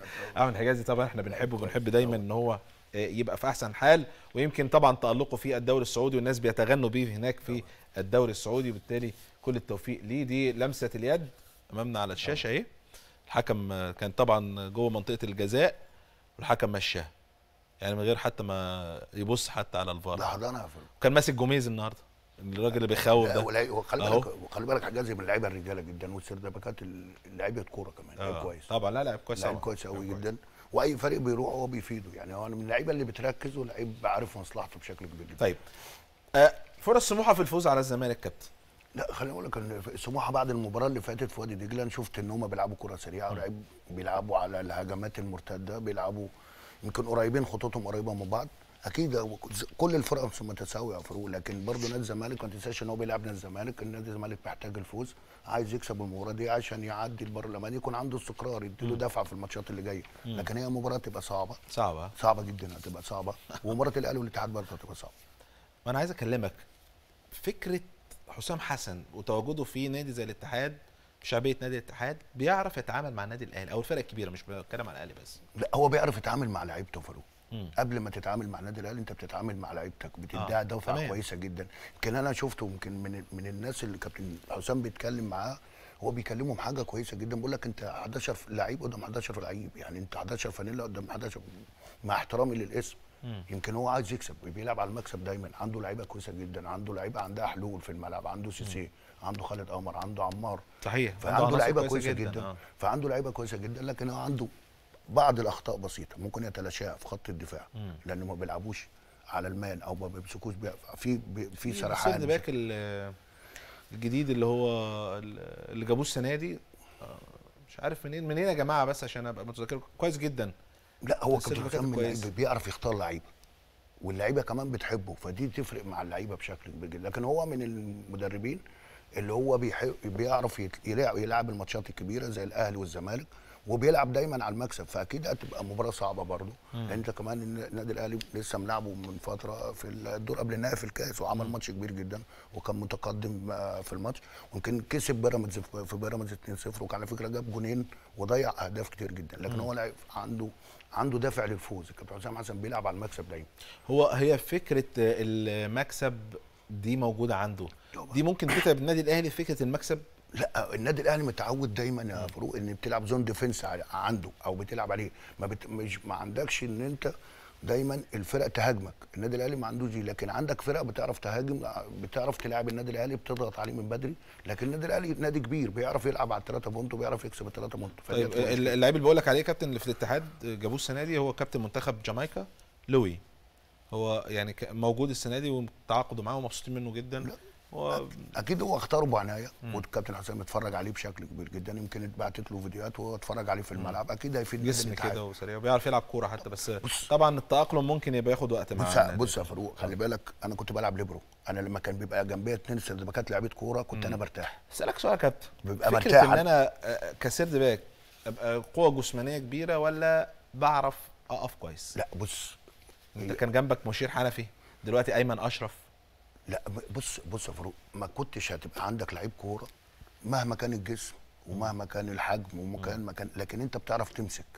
انت كنت بتلعب forward لو واحد مسكك طول الماتش إحنا كنا بنقول أنا يمكن أنا كنت بقول لكمونة لو الفيرود طلع بره اطلع معاه. وكان بيمسك ما بيخلي ما بيديلوش مساحة ما بيديلوش فرصة. يمكن عايز أقول لك حاجة من السردبكات اللي كانت جامدة برده مشير حنفي. يعني مشير حنفي أنا كنت لما كنت بقول له امسك لعيبة الفراودة كنت بديله أحرف واحد في الفرقة. اللي هو مين؟ في النادي المصري إبراهيم المصري في الإسماعيلي صلاح أبو جريشة في الزمالك بيمسك أيمن منصور أو قاسي سعيد. فأنت النهارده بت- بتخليه يلعب أو أحمد الكاس في الأولمبي. فأنت بتخليه يمسك. إحنا دايما بنقول للسردباك يا فاروق لو الفرود اللي ما عليك ما جابش جون يبقى أنت أحسن واحد في الماتش. أحسن لاعب في المباراة. فأنت النهارده برضو لعيب الكورة لازم يكون عنده ذكاء إن أنت لازم تفتح على الخطين. أو لما الكورة تبقى معاك لازم تفتح عشان تقفل الخط ده. برضو ما جاوبتنيش الإمكانيات الجسمانية؟ ولا بعرف أبقى أنا واقف بشكل كويس لا وك- بتعرف تقف آه. وبتعرف تمسك. مش مش شرط إن أنت لكن يبقى في كورة. يمكن يكون لك يعني أيمن. أشرف بتشوفه إزاي؟ كويس. خلي بالك أنت برضو أيمن أشرف بيلعب التراري سردباك يا فاروق. أيوه بس لغاية بس هو ما بيلعبش لكن هو يعني مقضيها بشكل كويس. آه، آه. خلاص. هو التزم لأن أنت عندك علي معلول في الحتة دي. ما حدش قاعد علي معلول. صحيح. فأنت بتلعب الحتة دي وأنت وقال لك العب هنا أحسن قال لك ألعب. بدل ما العبش العب ما هو خالص. خلي بالك ما هو لو ما لعبش كده مش هيلعب. صح. واداها بشكل كبير جدا. راجل جدا. وبقاله فترة. يعني وبعدين عارف في حاجة كمان إن أيمن أشرف بيزيد يا فاروق دي حاجة مهمة جدا. إن أنت ال third back بي بي بي بيدور على مساحة طيب. ويقدر يزيد. في حالة رجوع سعد سمير وإحنا الحمد لله على سلامته طبعا. ورجوع رامي ربيعة وهو موجود أيمن أشرف يقعد؟ بص اللي النادي الأهلي دايما يا فاروق اللي عنده اللي تكسبه لعبه بجانب ده بدر بنون يعني بدر بنون لا بدر بنون لعيب كويس آه، وعنده ثقة هي- هيلعب. أساسي هو اللي هيلعب. بس هتبقى منافسة كبيرة وده هتخلق منافسة في صالح الفرقة لأن أنت كمان عندك بطو... يعني أنت بتلعب في أفريقيا وتلعب في في فبراير آه، مشوار. طويل. فأنت المشوار طويل ومحتاج كل اللعيبة لكن هتبقى منافسه كويسة وقوية وده هتصب في صالح الفرقة. لأن أنت النهارده اللي بيلعب مش عاوز يطلع أو مش عاوز يقعد. واللي بيتمرن واللي ما بيلعبش بيدوس أو يتمرن كويس عشان يخش ياخد فرصة. وخلي بالك اللي هيمسك الفرصة في إيه مش هيسيبها. أيمن أشرف ماسك مش مش سايب. هيسيبها لا لعيب مش كويس. سايب. لا forward كويس. في ظل في ظل الإصابات اللي بتيجي للعيبة الصراحة في لا هو ربنا يبعد عنهم الاصابات اللعيب هو النهارده ال- يعني أيمن أشرف أخد كدمة كده في دماغه بس يعني الحمد لله بسيط الحاجات دي بسيطة. ما الحاجات دي بتعدي. ما كان في لعيبة حاجات الغرز دي بسيطة. خلي بالك في في لعيبة بتبقى كانت مصابة وبتلعب فروق. آه. اللعب في النادي الأهلي والزمالك حاجة إيه، ثانية فاكر كابتن حسام حسن؟ عشان ولا كابتن إبراهيم اللي كان رجليه مشروخة وكان بيلعب. لا بص كابتن؟ حسام أنا أقول لك على حاجة. أنا كنت بنام معاه في الأوضة. إحنا كان عندنا ثلاجه مليانة ثلج آه. ما أنت عارف أنت أيوة، انت كنت أيوة. بتنام معاه في المنتخبات وفي النادي الأهلي وعارف. يعني هو طول الليل على السرير حاطط ثلج لو في حاجة في كدمه ولو مصاب ما يقولكش. عايز يلعب. لا بيحب اللعب عاوز يبقى موجود. خلي بالك عنده كان عنده ميزة برضه. إيه، أنا أقول لك على حاجة بس قدرات خارقة. قوة التحمل بالنسبة للإصابة خلي بالك مش موجودة ما أقول لك أقول لك على موقف حلو كان بسببك يعني. إحنا كنا بنتعالج في ألمانيا. آه. وأنت كنت بسم الله ما شاء الله طالع صغير ومتألق. آه. أنا ما كنتش بنام. قعد يكلمها فاروق ده لعيب صغير لعيب جامد. أقول له يا كابتن يعني عارف أنت لما بتتكلم هو كان حبيبي بقى. ما أنا عارف إن أنت كنت بتحبه وهو بيحبك. هو طول ما, كلنا ما ببخلش. عليه بأي باص جوه ال 18 يا كابتن. لا بس. عاوز أقول لك على حاجة. أنت برضو لما كنت بتلعب جنب حسام حسن هو كان طبعاً، بيساعدك بشكل كبير جدا. وبيتكلم معانا بأسلوب كويس. صحيح. يعني عايز أقول لك على حاجة أنت يمكن من الأوقات إن أنت كنت بتنام معاه في الأوضة هو حابب ان حابب إن ينام آه. معاك حابب يتكلم معاك كتير. صح. هنعمل إيه؟ يعني أنت فاهم؟ صح صح فدي ميزة كويسة يا فاروق. لكن عايز أقول لك على حاجة يمكن أنا كنت قاعد أتكلم معاه بعدين أنت عامل ماتشات كويسة جدا ومتألق وبتجيب أجوان. فهو فكان يقعد يسألني هو فاروق يعني ممكن ياخد مكان يا كابتن يعني أنت فاهم؟ أنا عايز أقول لك فكنت كان بيعمل إيه؟ بقول لك إيه كان بيعمل مع كشري بقى و... مين؟ وعلي ماهر. لا أنا ما حضرتش على ما لحقتش، لا أنا لحقت كشري. مش لا لحقت كشري. آه. لا بص عاوز أقول لك فيليكس. كان موجود برضه كانت- كشري بص كشري كان اتنين دويتو زي فلافيو كده وعماد متعب. لا بص بص يا فاروق أنا عشان بس الناس تفهم اللي كان بيتقال في الأوضة زمان. يعني الأجانب عندهم ميزة إن أنت بتثبت تشكيل. آه. فكان عندك حسام حسن وفليكس مع احترام الالقاب صح؟ فأنت النهارده الاثنين دول ماشيين كويس. مم. وبيجيبوا جوان و... و... وعلى طول بيهدفوا. فأنت عشان تلعب كان بتبقى صعب. مم.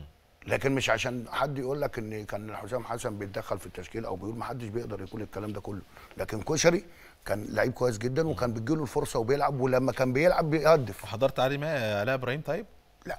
ما حضرتش علاء لا، إبراهيم؟ لا. والله. لا ما قدرتوش مع تسوبل. لا ما أنا مشيت مع تسوبل. يعني أنا تسوبل جه وأنا مشيت. آه. كان آخر سنة ليا كان مع هولمان. هولمان آه. لا بس عايز أقول لك على حاجة يا فاروق. الجيل بتاعنا ده كان اللي يخش وسطينا يبقى وحش. بطل. لا. عشان يلعب وانت عارف الكلام الجيل ده. يعني الجيل ده بطل ناس كتير قوي كانوا طالعين من أنا القطاع كان. حصلت كان حصل اجتماع مع مستر هاريس قال لك أنا عندي 11 لعيب وهولمان نفس الكلام. قال الكلام بتاعهم واحد. قال لك اللعيب اللي بيلعب بيموت نفسه وبيفضل ماسك في الفرصة ما يسيبهاش. صحيح. واللعيب اللي ما بيلعبش يموت نفسه بالتمرين عشان لما تجيله الفرصة ما يسيبهاش. صحيح. يعني فدي بتخلق منافسة كبيرة. طيب آه، آه، بس عشان لكل متابعي متابعي الدوري الإنجليزي البريمير ليج النهارده كان في آه، الأسبوع ال 15 عده مباريات. آه، يعني ليستر سيتي بيتعادل مع مانشستر يونايتد 2 2 طبعا الاثنين بيتنافسوا على الوصيف. لكن النهارده بهذا التعادل ليستر بي- بيفضل في الوصافة بالنسبة للبريمير ليج 2 2 مباراة كانت جميلة جدا ما بين الفرقتين. أيضا فولهام مع ساوثهامبتون تعادل سلبي 0 0 وأستون فيلا مع كريستال بالاس 3 0 لأستون فيلا. أما الأرسنال بيفوز على تشيلسي 3 1 نجمنا آه، النني النهارده شاط شوطة. جت في العارضة إيه؟ بس كان يعني كان نفسنا برضو الأمور معاه النهارده يبقى عنده شوية حظ بس. لكن 3 1 للأرسنال النهارده في مباراته أمام تشيلسي. أيضا شيفيلد يونايتد مع إيفرتون وفوز 1 0 لإيفرتون على شيفيلد يونايتد. ومانشستر سيتي بيفوز على نيوكاسل 2 0 دي مباريات الأسبوع ال 15 في الدوري الإنجليزي بريمير ليج كابتن الدوري الإنجليزي يمكن إحنا في ال Boxing Day بقى خلاص إحنا بالنسبة للدوريات أو الدوري الإنجليزي بالأخص بتبقى أيام جميلة جدا هناك بالنسبة لهم أيام ما كان في جماهير أيام ما كانت الدنيا لطيفة. بس ما زال متعة برضو واثاره في هذا الدوري. أنت بتتفرج على الدوري إن أنت بتتمتع بكمية اللعيبة الحريفة اللي في موجودة. بتتفرج على ليف- ليفربول. بتتفرج على النهارده اتفرجت على مان- مانشستر يونايتد وليستر سيتي 2 2 يعني ماتش غايه القوة. بتتفرج على الفكر الجديد يا فاروق. أنت بتتفرج على تحركات اللعيبة في الملعب مدى التزامهم في الملعب. خلي بالك يمكن ده يمكن لو تسألني أنا اتعلمنا إيه من الاحتراف اتعلمنا الالتزام. الالتزام في داخل الملعب. إحنا دي شغلتنا. يعني لكن سواء موجود ال- ال- الجماهير أو مش موجوده الجماهير أنت بتتمتع بالكرة الأوروبية سواء في إيطاليا سواء في إنجلترا سواء في إسبانيا. فدي بتديك المتعة أو ان أنت حابب إن أنت تتفرج على الماتشات. طيب قبل ما أروح لفقره الصور كابتن بس أقول لكم النهارده الجدول يعني بعد الدوري المصري الجونة في المركز الأول آه، برصيد 8 نقاط لعب أربع مباريات فاز في اثنين وتعادل في اثنين طبعا كابتن رضا شحاتة آه، آه، نجم النادي الأهلي السابق والمدير الفني لنادي الجونة. طبعا سعيد بوجوده. لأول مرة كمدير فني مع فريق ويبقى متصدر جدول الدوري في الأسبوع آه، الرابع على فكرة شخصيته ده. بالنسبة لي يعني إيه شخصيته عجباني جدا آه مع لا يعني. مع الوقت لا هو هو في لعيب امبارح إسلام مع مع. الوقت هيبقى لا وعنده لعيب حتى امبارح بيلعب لنفسه راح شده من الملعب في مدربين تاني تقول لك لا اصبر عليه ما لكن هو مدرب شخصية آه أنا بس. حبيت أقول بس الجدول طبعا مع بعديه الأهلي بعديه سيراميك كليوباترا المصري أسوان البنك. الأهلي سموحة غزل المحله الزمالك يعني أنا بس حبيت أقول ال- ال- الملاحظة الخاصه بفريق الجونه خلينا نروح لفقرة الصور كابتن. الدهب مع حضرتك. هبتديها بأول صورة آه، مصطفى محمد. يعني- تقول له إيه؟ يعني فرود كويس والقرار إيه؟ قرارك أنت أنت شايف اللي في مصلحتك سواء بالقعاد أو سواء بالرحيل. لكن أتمنى لك التوفيق لأن أنت من الفراوده كويسه جدا. طيب الصورة اللي بعدها. فرجاني ساسي يا كابتن. برضه نفس الطريقة لعيب مهم جدا ولعيب كويس جدا وبقائه في نادي الزمالك بيدي دفعة للعيبة وبيدي قوة للعيبة. فلوس ولا يستنى بقى بالنسبة له نادي الزمالك زي ما هو بيقول الاثنين يا نادي الزمالك؟ الاثنين. لعيب محترف وبيدور على الفلوس طيب. سيرينو؟ يعني أنا شايف ان موسيماني مركز عليه بشكل كبير جدا ومصمم على التعاقد معاه. أتمنى إن هو طب بامانه هو ولا والتر بولي لا يمكن أنا اتفرجت على عليه. اتفرجت عليه في, سان داونز من لعيبة كويسة جدا أهو. هم الاثنين هيفيدوا النادي الأهلي بشكل. ايا منهم متواجد؟ متواجد هيفيد النادي الأهلي. مواصفات قصدي أنا قصدي المواصفات. ما انت أنت عاوز محتاجها انت عايز لعيب يعني أنا بقول لك مواصفات أنا كمحمود أبو الدهب لما تيجي تتكلم أقول لك أنا عايز حد جوه الصندوق يخلص أو يفنش الهجمة بتاعت النادي الأهلي. إحنا دايما النادي الأهلي بيلعب على الجون بيلعب على الثلاثه بونت. تمام. لو عند أول النادي الأهلي بيدور على اللعيب اللي يخلص له الماتشات. تمام. طيب الصورة اللي بعدها محمد شريف يا كابتن. أنا قلت لك ده مستقبل كبير جدا في مصر. منتخب مصر والنادي الأهلي من لعيبة كويسة جدا إجابة على الجون لعيب ملتزم لعيب راجل في الملعب وأتمنى له التوفيق الفترة الجاية إن شاء الله. طيب. الصورة بعدها بدر بنون. لعيب كويس عنده ثقة. آه، لسه هينسجم كمان يا فاروق مع اللعيبة مع النادي الأهلي. فكرة التكملة والتهديف ممكن تلاقيها منه؟ أتمناها. باللي أنت بتشوف يعني أنا بقول لك أتمناها. بطريقة اللعب لا إحنا كانت ال- على أيامنا كنا بنلعب ب 3 5 2 دلوقتي انت ملتزم ان انت في لعيبة بتأديها بشكل لكن المفروض يزيد لأن انت ما تخافش. أنا عندي سردباكات زي أيمن أشرف يزيد عندك بدر بنون بيزيد لأن انت عندك اثنين. صحيح. defender ين بيستنوا. عندك إذا كان حمدي فتحي أو السولية أو يانج فباللعيبة دي بتستنى. فأنا بقول لك ما تخافش اطلع. تمام. طيب. آه، آه، موسيماني؟ يعني مدرب كويس. يعني شخصيته عجباني جدا عمل طفرة في النادي الأهلي بعد كورونا. النادي الأهلي كان زمان ما- في اللعيبة ما بتضغطش دلوقتي بقى بتضغط واللعيبة بتلعب على على الكرة الثانية فدي عنده الضغط بيلعب press على الفرق فدي عجباني جدا. طيب. الصورة بعدها كابتن طلعت يوسف. هل بتشوفوا إن هو اخذ القرار الصحيح بابتعاده عن النادي الإسماعيلي؟ يعني أنا من وجهة نظري إن هو ممكن يكون شا... أنا بص أنا اتعاملت مع كابتن آه، بغض النظر. طبعا السبب لا إيه أنا يعني. اتعاملت معاه كمدير فني في في في, في بلدية المحلة في آخر فترات يعني من المدربين اللي شخصيتهم قوية. أكيد هو شاف حاجة ما عجبتهوش ففضل إنه يرحل. لكن سيبك من أسرية ومش إحنا اسكندرية والاسماعيليه ساعة فروق مش بعيد آه. لا مش بعيدة يعني الطريق من أنا والله ما رضيتش أقولها للأستاذ علاء لا لا معلش يعني خلينا بس هو أقول ما إحنا عايزين نطلع مبررات الناس صحيح. تصدقها أو الناس تقول لك إنها في مصداقية في الكلام لكن هو يعني عايزين كابتن يخرجوا- طلعت لو جاله عقد دلوقتي إن هو يمرن في, القاهرة الكابتن- مش هيجي الكابتن. الكابتن طلعت يوسف مسك المقصة في الفيوم من المدربين الكويسة المديرين الفنيين كويسين لكن خلي بالك الكابتن من معرفتي ليه الشخصية آه. إن عنده أسبابه ممكن ما ارتاحش أو ممكن شاف. إن في حاجة غلط خلي بالك الإسماعيلي بيعاني بشكل كبير جدا. طيب الصورة الأخيرة كابتن كابتن أحمد مجاهد رئيس أتمنى اللجنة له التوفيق من الشخصيات المحترمة جدا اتمنى له التوفيق في الفترة الجاية الحمل ثقيل تقيل عليه بشكل كبير جدا إحنا قرار الانتخابات والقرارات دي دي مهمة في الوقت هو يعني قدها وقدود طبعا قدها. لا هو عنده خبرة صحيح تعال. بشكرك كابتن مدهب. نورتنا وشرفتنا إن شاء الله. نشوفك في. حلقات آه، إن شاء الله مستمرة بنستمتع بيك. كل سنة وأنت طيب داخلين حبيبي. على رأس السنة. ما أعرفش هشوفك بقى قبلها ولا لأ بس إحنا متواجدين بقى في السنة. الجديده مع بعض. إن شاء الله. حبيبي يا كابتن الله بشكركم إن شاء الله حلقة جديدة من البريمو وأكيد مستمرين معاكم بكل الأخبار والحصريات الخاصة بالبريمو. صدقوني إحنا بنجيب لكم الأخبار من جوه. تصبحوا على خير.